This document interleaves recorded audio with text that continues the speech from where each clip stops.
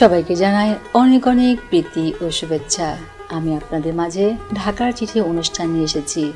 আজকে ঢাকার চিঠি অনুষ্ঠানে আপনাদেরকে জানাব একশো ষাট বছর আগের রেল স্টেশন সম্পর্কে। চলুন বন্ধুরা, জেনে নিন দেশের সর্বপ্রথম রেল স্টেশন তৈরি করা হয়েছিল কুষ্টিয়ার জগতী এলাকায়।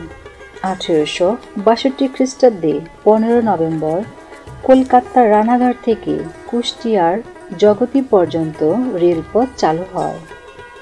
রেলপথ ও জগতী স্টেশন স্থাপনের পর দেশে শুরু হয় রেলওয়ের যাত্রা।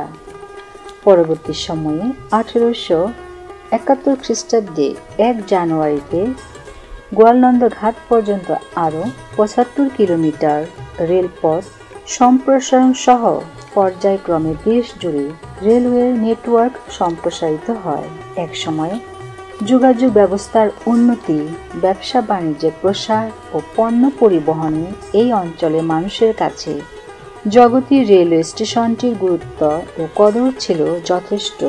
জগতী স্টেশন থেকেই ভারতের কলকাতায় যাতায়াত ও বাণিজ্যিকভাবে পণ্য আমদানি রপ্তানি হতো, কিন্তু এখন তা শুধুই স্মৃতি। দুইতলা স্টেশন ভবনটি এখন ব্যবহার অনুপযোগী ও পরিত্যক্ত।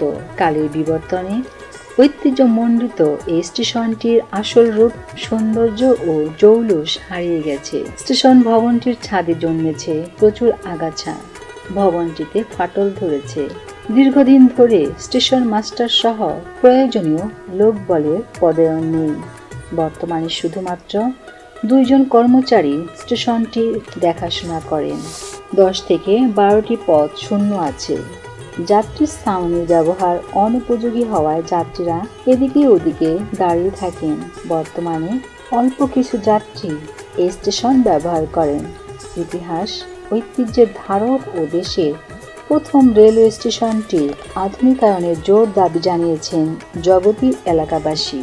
দেশের প্রথম স্টেশন হিসেবে ঐতিহ্যগতভাবে জগতী রেলওয়ে স্টেশনটিকে টিকিয়ে রেখে আধুনিক মডেল স্টেশনে রূপান্তরিত করার উপর গুরুত্ব আরোপ করেন।